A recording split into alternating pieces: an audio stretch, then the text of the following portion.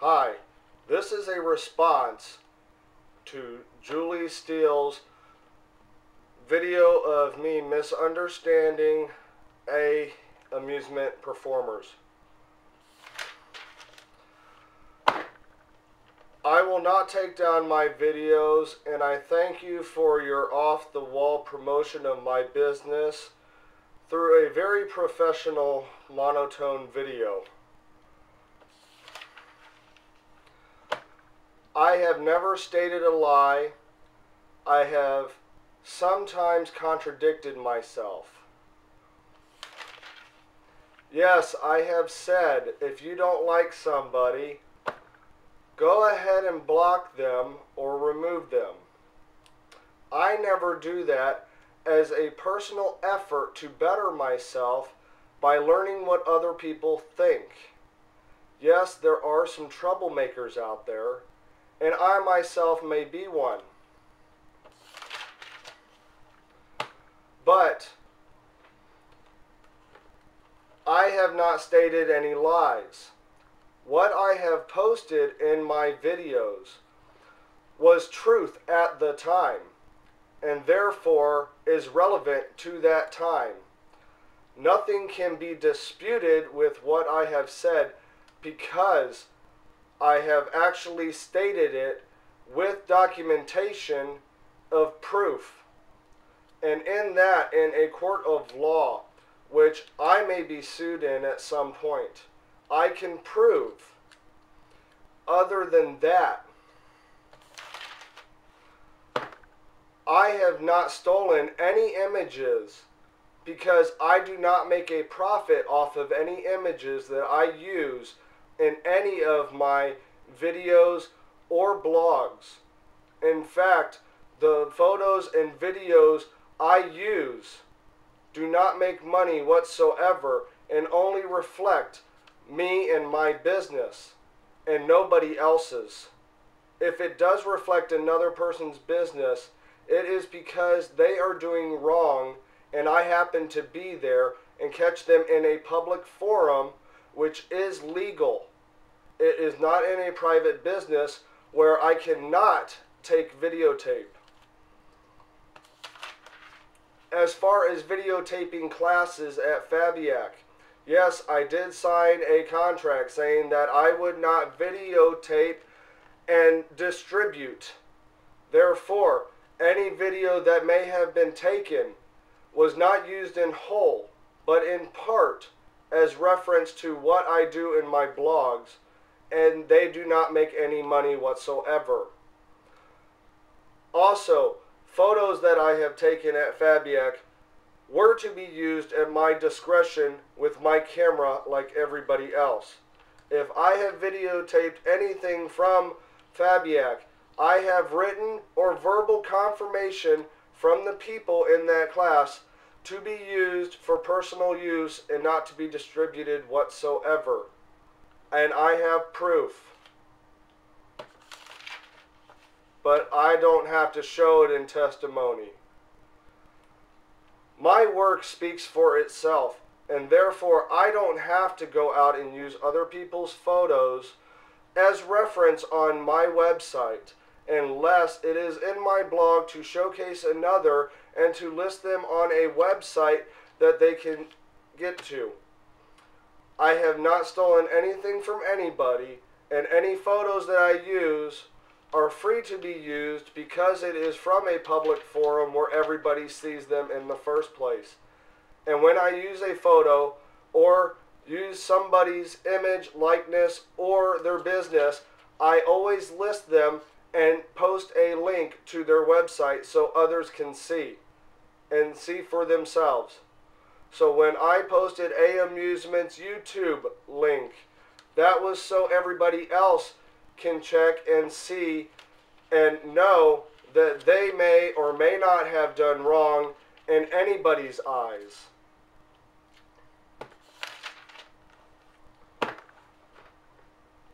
I even posted their website, which had broken links and links that led to nowhere.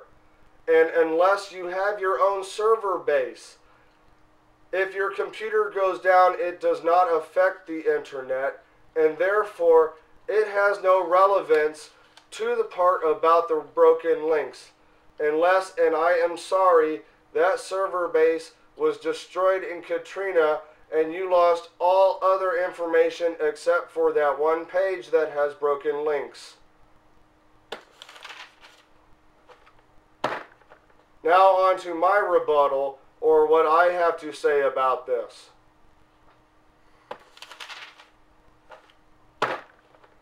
I have done nothing wrong, and I will not recant.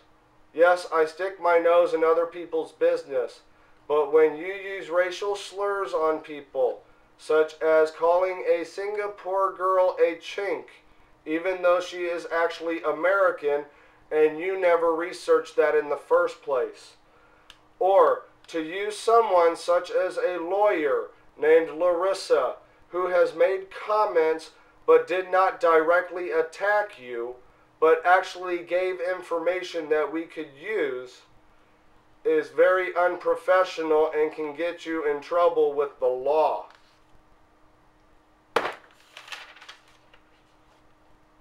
There is so much more I can say, and I will go into the fact of I may not have a lot of video testimonies. I do not need a lot of video testimonies. I have business. I get business. I have been doing face painting as a main job for over a year now and have not needed to have another job, nor have I had to contract out anybody else to get money from other people for something that I cannot do myself. Yes, all I do is one thing face painting. But does that include henna tattoos, glitter tattoos, hair extensions, murals, window paintings, rock paintings, arts and crafts of any sort, working as the youth coordinator for the Virginia Highlands Festival, working several paid festivals that are in the top 100 in the nation. Do I have to list all of my achievements to make myself look grand, such as you do, A. Amusement Performers, Lakari, and Julie Steele? I have been on TV several times for interviews. I don't like TV as much as other people do. I don't need my 15 minutes of fame on TV. I do YouTube videos for your entertainment and my entertainment and to let people know about what I do in my face painting world and what kind of events are out there that they may want to frequent in the future. Some events are really slow. Some events are really bad. The economy dictates how bad a festival may be. And because of how bad a festival may be, I may not have a very good time. As a face painter, we all know that competition is going to be there. But when you have a church who is doing face painting for free, just maybe more than 200 feet away from you while you have paid for a booth at a festival because this is your livelihood and you're trying to make it. A complaint is valid. I'm sorry.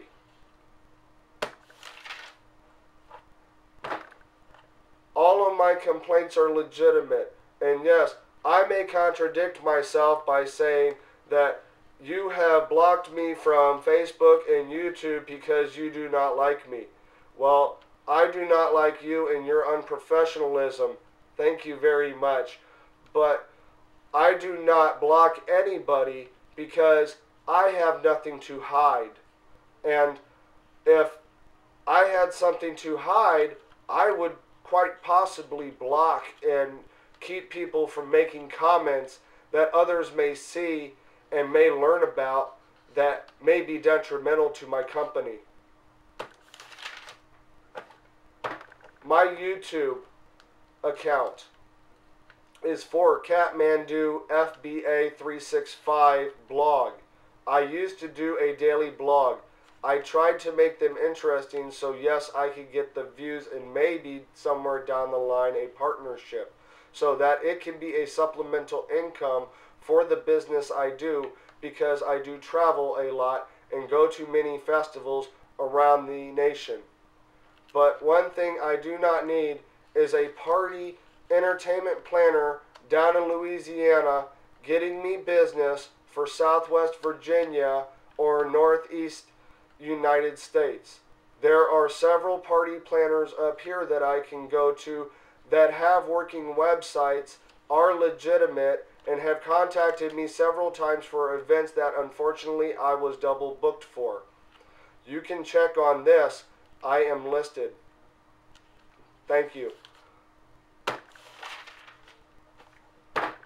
As far as doing as much as you do, if I wanted to stress myself out by looking for everything for everybody else so that I can charge them whatever so that they can have everything all from one site, I would become an entertainment planner or event planner and I would go under the name Katmandew Face and Body Art Entertainment Services or um, Entertainment Services of Katmandew Face and Body Art. But I do not do that. I pride myself on what I do and the quality of my work, and I don't have to go and get um, other stuff that really doesn't pertain to me that much. But I have friends that do do different things like DJ, clowning, balloons, magic, and all kinds of other things like Euro bungee, rock wall, inflatables. And I have them in my contacts where I can use them for different events and we all work it out because we are friends and we can give them the best deal possible. So, thank you. There is so much to say. I'm sorry I don't have the te- oh I already said that. I'm I'm sorry. Um, I guess that's what I'm going to apologize for, but not to Lakari or Julie Steele. If you are a professional business and you do not like slander, or if this is just between me and Lakari, but you are directly tied into the business that your husband is in, and you say that you don't have anything to do with this, you are wrong. Because any statement that he makes on behalf of amusement entertainment falls on your shoulders too. And therefore, you are at fault just as much as he is. Thank you. So please, do not call Katmandew face and body art. I am a liar. I will deface you. I will put your business in the ground any way possible. It is my my joy in life to make your life miserable when you do something wrong. I guess I just care about the welfare of the kids that I may have as business later on and do not want to see them hurt by anything whatsoever.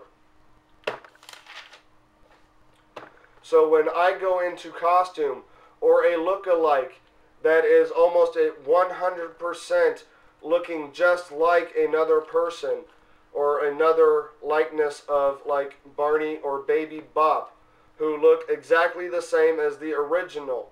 Yes, you may be able to change it by 36% with a zipper in the back instead of Velcro. But still, that does not mean that you can use their voice likeness in copyrighted music or lyrics.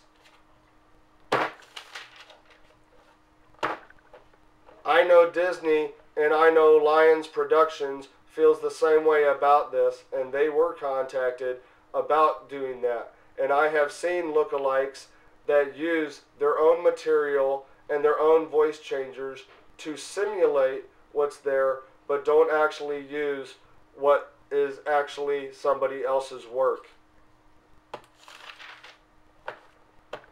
I have plenty of friends on Facebook. Most of them do not talk to me. But just after all these videos have come up, I guess people have looked me up and I have had more subscribers on Facebook and or friends on Facebook and subscribers on YouTube. So thank you very much for that. And as they say in the world, no promotion is bad promotion. Any promotion is good promotion. Because of you, I will have people looking me up day and night to try to figure out what you say I am doing wrong, and therefore they are going to be able to view my videos, go to my website, visit my blog, visit my Facebook, my MySpace, and everything else, and I will get the numbers that I am trying to reach inadvertently because of you.